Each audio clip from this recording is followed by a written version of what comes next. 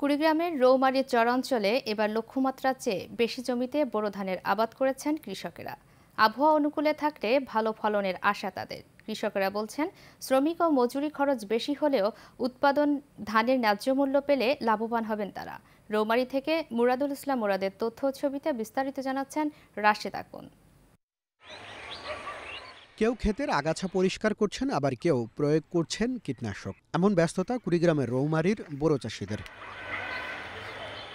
আবহাওয়া অনুকূলে থাকা এবছর উপজেলায় বেড়েছে বোরো চাষ। কৃষকরা বলছেন চাষে অন্য বছরের তুলনায় খরচ বেশি হলেও উৎপাদিত ধানের ন্যায্য মূল্য পেলে লাভের মুখ দেখবেন তারা।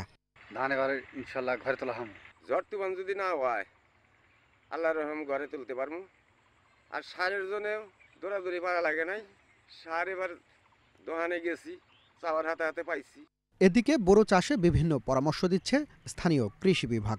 মোটামুটি আমাদের হচ্ছে আমাদের এ পর্যন্ত যে বোরো ধানের পরিস্থিতি, আশা করা যাচ্ছে খুব ভালো এবং কৃষকের মুখে হাসি রয়েছে। প্রতিটি জায়গায় আমাদের যে ছয়টি ইউনিয়ন রয়েছে, ছয়টি ইউনিয়নেই আমাদের যে বোরোর আধুনিক জাতগুলো রয়েছে, যেমন বিরিধান চুয়াত্তর জিন সমৃদ্ধ রয়েছে, চুরাশি রয়েছে।